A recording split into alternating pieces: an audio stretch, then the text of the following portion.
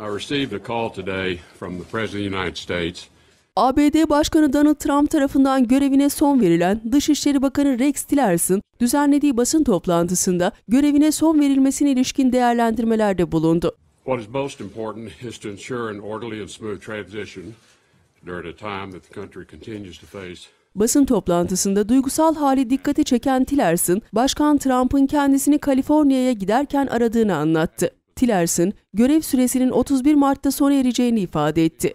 Görevini Bakan Yardımcısı John Sullivan'e devredeceğini kaydeden Tillerson, ABD Dışişleri Bakanlığı'na atanan Pompeo'ya yapılacak geçiş süreci için çalışmaları başlatacağını belirtti. Uh.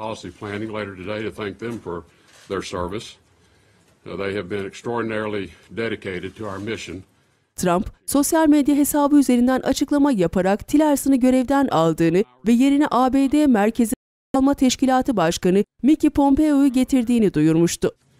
Proud of the opportunity I've had to serve my country.